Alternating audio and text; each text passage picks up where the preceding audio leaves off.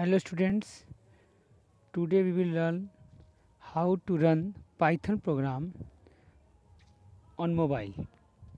Firstly, uh, we have to go in a Play Store like this and uh, then we have to search PyDroid. P Y D R O Droid. PyDroid 3 ideally for Python 3 and uh, this app we have to search and download then install. And after install there is a icon of open.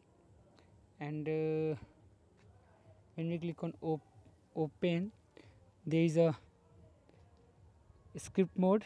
There is a editor of python.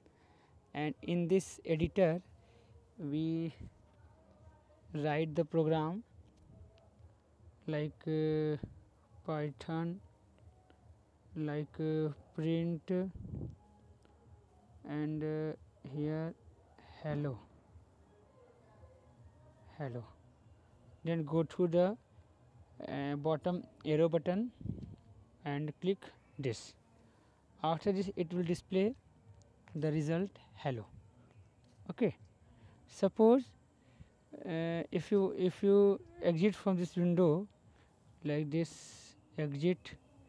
And if you want to open this app next time just go through the search and write here PyDroid PyDroid 3 and PyDroid 3 click on PyDroid 3 these are the last program.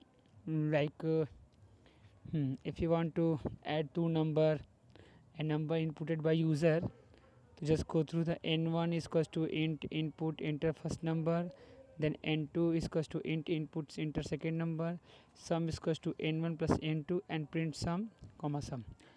And uh, go through the arrow button. Yes enter first number first number 10 second number 20 and sum is equals to 30 good.